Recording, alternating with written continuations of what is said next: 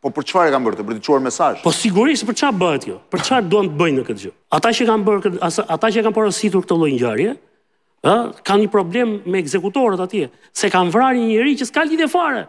Pra kanë vrarë gjyshen që punon 16 orë. Me me besën kanë vrarë gjyshen. Pra çfarë them më? Kanë vrarë gjyshen. Ka vajtur që punon 16 orë dhe në çdo dyqan të mëhallës ishte me borxhe në listë atje, dhe sot policia jep 20000 euro shpërblim. Me ato 20000 euro ai i kishte zgjidh hallet. Ne sot kërkojmë, paguajmë 20000 euro, kush na jep informacion për ata që vrau gjyshen?